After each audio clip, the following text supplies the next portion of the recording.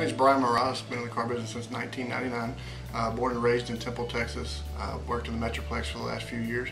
Glad to be back home with the Don Ringler Auto Group, uh, the best auto group I've ever worked for. Hope you guys will come and see me.